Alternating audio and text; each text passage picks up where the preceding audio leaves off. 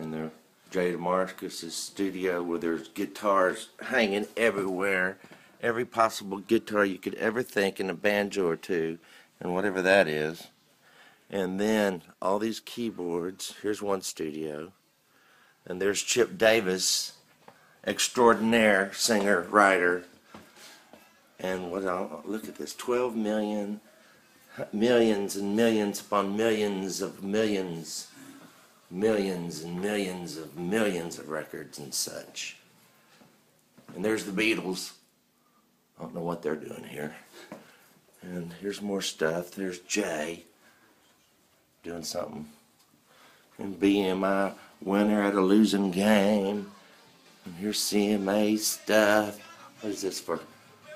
Nominees for Group of the Year Alabama Diamond Rio Lone Star Rascal Flatts Trick Pony. And the award goes to Rascal Flatts.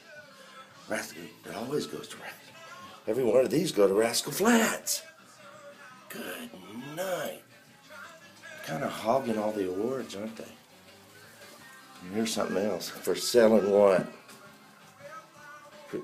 Unstoppable.